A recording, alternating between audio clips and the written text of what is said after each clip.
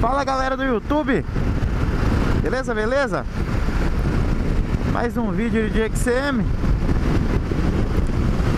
Falamos direto aqui de Campinas, São Paulo. Obrigado a todos que acompanham o canal aí. Tamo juntos. E vamos sempre de videozinho pra vocês aí Sempre que a gente sai pra dar aquele rolê A gente faz aquele vídeo A 250 então, galera, é... O que vamos falar hoje? A galera sempre tem perguntado aí muito nos comentários, então vamos falar como sempre, vamos falar de Teneré aí pra galera. É, a pergunta que sempre fazem aí é como que a Teneré se sai no dia a dia? Se for pra usar a Teneré no dia a dia aí, como que a Teneré se sai? Bom, é... Eu não uso ela exclusivamente no dia a dia. É uma moto usada, vamos dizer que para lazer. Vamos dizer não, é para lazer.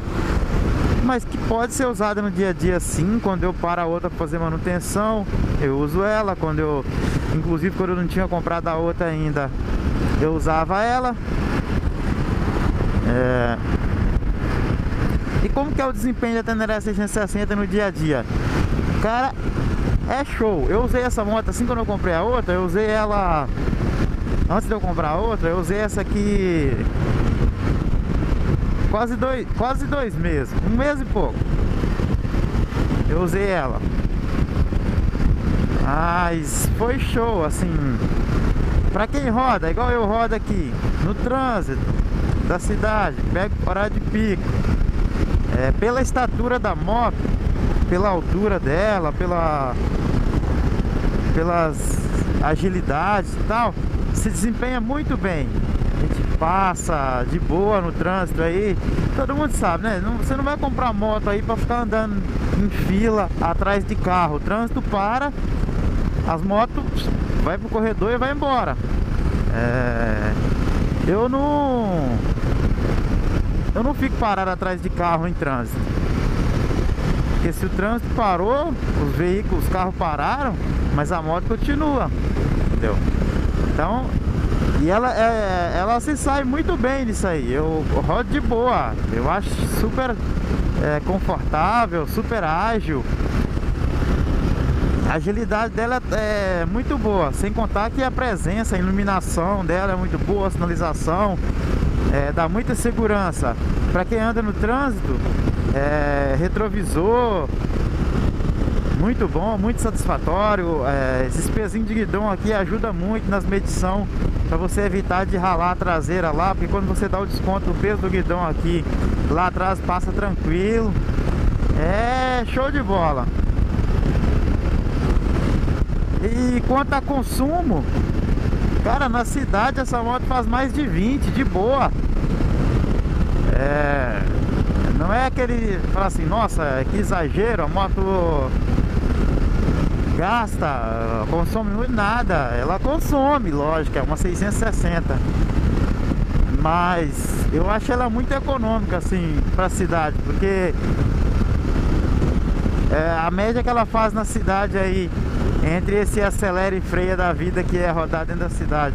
Se for um cara que saber pilotar, não ficar queimando, subindo gira à toa, queimando embreagem, ela faz aí uns 22, 23. Não faz igual ela faz na pista, mas faz. Ela faz uns 22 aí na, na, na cidade. Pelo menos a minha faz. Mas deve lembrar que isso aí, né, pessoal? A manutenção tem que estar tá em dia também. Fio de ar tem que estar tá limpinho, tem que estar tá tudo nos conformes para não ter surpresinha, entendeu? Tem que estar tá tudo bala, a moto tem que estar tá toda tudo nos conformes. É, aí, ó, isso que eu tô falando, ó, o trânsito para, a gente tem que ir embora, Nós não vamos parar, a moto não vai ficar parada atrás de carro aí. Isso aí é genérico, eu sei que algumas rodovias do país aí é proibido, inclusive aqui em São Paulo, é até proibido trafegar no corredor aí, em rodovias, mas Infelizmente, dentro do centro urbano aqui não dá, né, cara? Dentro dessa cidade aqui, se motor não... motociclista não fazer corredor aqui nesse pedacinho de rodovia, não adianta nem, não sai nem do lugar. Mas aqui onde uma Titan passa, ela passa também. Um pouquinho mais apertado, mas passa. E que eu tava voltando a falar aí de consumo, então é show, cara. Pneu. Aí a galera fala, nossa, mas essa moto come muito pneu. Cara, eu tô surpreso. Ó, 10.999. Daqui a alguns metros ela vai fechar 11 mil km. 11 mil km. Pneu, galera, roda mais uns dois ainda. O pneu roda mais uns dois. É, o pneu original dela, o Endurance, o Endurance, o, o Metzeler, Galera reclamou pra caramba, disse que esse pneu rachava, que o pneu não sei o que. Galera, essa moto é muito pesada, cara. Não dá pra você ficar andando com 25 libras nesse pneu. Esse pneu tem que ser 30 libras pra cima. Na, na, na especificação da moto manda 34. Tem que ser 34 e você tem que calibrar aí pelo menos uma, duas vezes no mês para você manter isso aí, entendeu? É, a moto fica super firme, bem justinha, você mantém nos 34 libras, que é o que manda no manual aí, na, na especificação dela. A moto vem, fica show, show. Eu sempre calibro assim, a cada 20 dias, 30 dias, pelo menos uma vez no mês aí eu calibro. E o resultado tá aí, galera.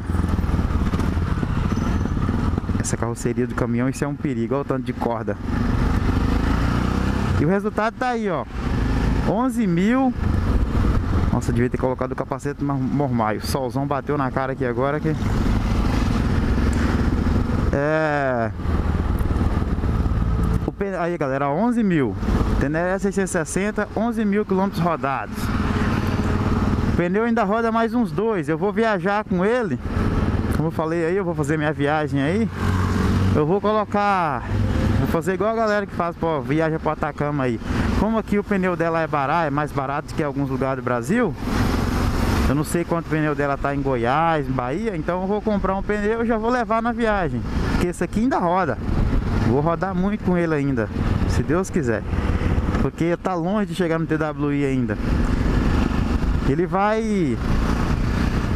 Eu acho que ele chega nos 13. E vai chegar sim, porque o pneu tá bom ainda, tá meia vida. Então não gasta, pessoal. Aí, mas qual o segredo? Calibragem correta. Calibragem correta, você pode rodar no dia a dia aí de boa, que o pneu vai durar. Mas aí é o que eu falo. Vai depender do pneu. Ah, mas Jack, você acelera muito, você freia muito.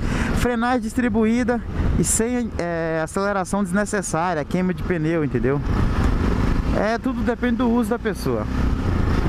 Mas eu, eu não tenho nada a reclamar. O, o pneu durou mais do que eu esperava. Eu achava que ele ia rodar uns 8 só aí. Já, já tá com 3 mil a mais. Entendeu? Show de bola. É, mas então é isso aí.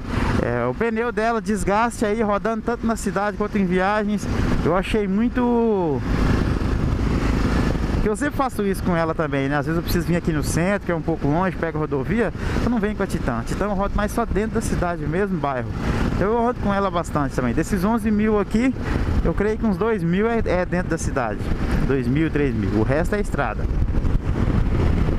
Mas esses comportamentos dela que eu achei muito econômico. Então, galera, dá pra usar a Teneré no dia a dia? Dá sim.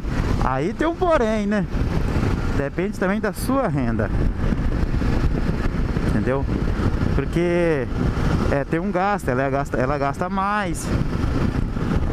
Eu não tô falando pra aquele cara aí que tem dinheiro pra caramba, que comprou a Teneré, entendeu? Eu tô falando aí pra nós aí, galera assalariada aí, que trabalha, vive de salário. É, dá, pra dá pra manter uma Teneré, dá pra usar no dia a dia? Dá. Ficar atento aí com as, com as manutenções certinha pra não dar problema, pra não ter prejuízo e E é isso aí, fazer tudo certinho, entendeu? Dá pra usar assim, tranquilo. Agora a especificação de renda, isso aí vai depender da sua cidade, entendeu?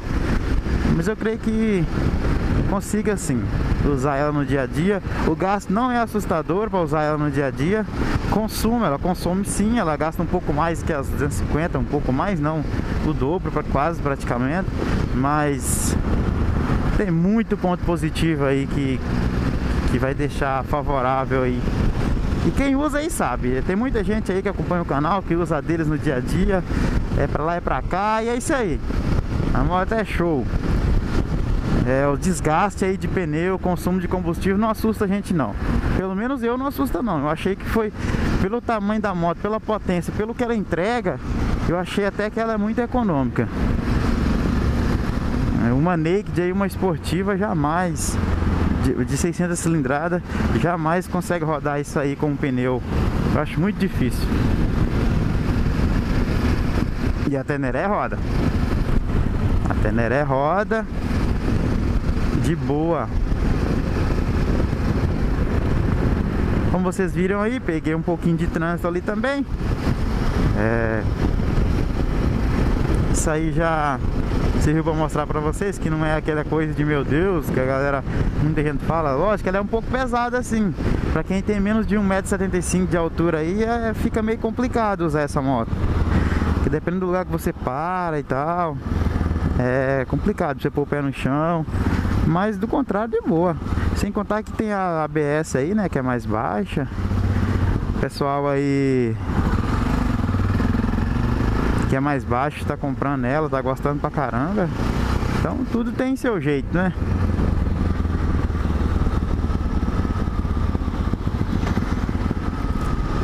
Show de bola.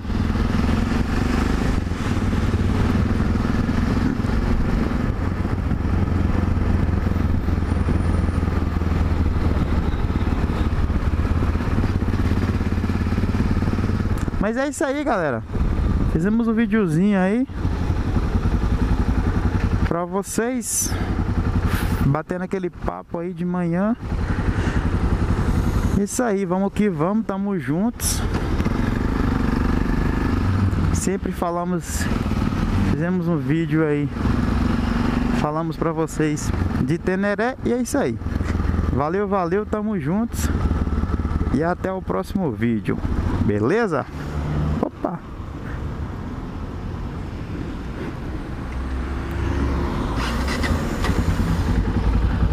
Morreu. Valeu, valeu. Fui.